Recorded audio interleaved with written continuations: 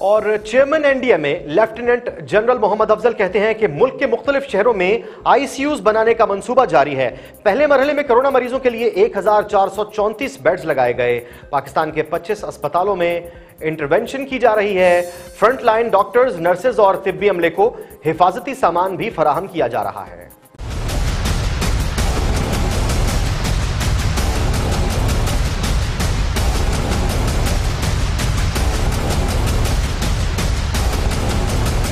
छोटे शहर जो हैं, पंजाब में स्पेशली मैं नाम लेना चाहूँगा झेलम खुशाब और डीजी खान। या राजनपुर, दोनों में से कोई एक जो है, उसमें छोटे आईसीयू जो है, वो बना के देने का प्रोग्राम है। ये पहले मरहले का है, जिसमें कुछ तकरीबन चौदह सौ चौंतीस के करीब बेड जो हैं, वो लग चुके हैं। तकरीबन इसमें 20 फ़ीसद बेड जो हैं, वो वेंटिलेटर पे हैं। 40 फ़ीसद इसमें बेड जो हैं, वो बाय पैप पे हैं।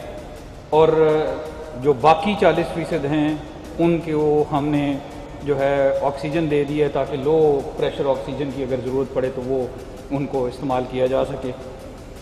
पाकिस्तान के लगभग 25 अस्पतालों में जो है इंटरवेंशन की जा रही है। इसके साथ साथ आपको पता ही है कि हम जो हमारे फ्रंट लाइन डॉक्टर्स नर्सें हैं, उनके लिए सामान मुहैया करते जा रहे हैं टेस्टिंग का सामान मुहैया करते जा रहे हैं।